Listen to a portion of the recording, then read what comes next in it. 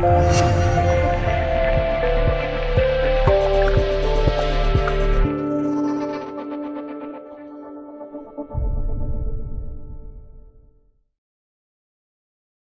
间转移至今，欧美系 SUV 不再只有途观，像是昂科威、翼虎等车型的出现，着实给它施加了不小的压力。曾经一度加价二三万才能提车的情况，也随之一去不复返，逆水行船，不进则退。当年看起来整体感觉还不错的途观，在后来居上的昂科威面前，多少显得有些逊色。